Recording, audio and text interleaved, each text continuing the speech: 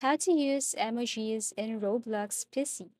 First, you have to launch your Roblox application. You can go to the search menu, type Roblox, and then open Roblox. Here, you have to look for a specific game. For example, this time I want to play Please Donate. And then here, what I'm going to do to have a chit chat with my friends is, of course, I have to at this comment section at the top left corner that is next to this Roblox item or icon right here. Once you tap this, what you're going to do is to click this to chat, click here, or press slash key.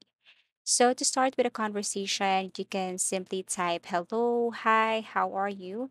And of course, to use the emojis here in Roblox or emoticons here on Roblox, what you're going to do is to simply long press the window key or this window icon on your keyboard and then tap the semicolon key and this is what it looks like. Now, feel free to look for the specific emoji or emoticon that you wanted to include here in your message.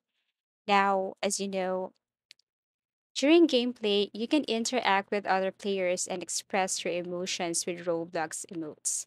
There are many animations available, ranging from happy to depressing, all meant to bring a human factor to your gameplay.